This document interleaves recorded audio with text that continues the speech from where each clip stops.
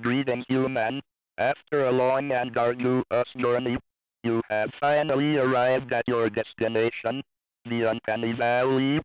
All about you are strewn robots in various states of disarray and disrepair.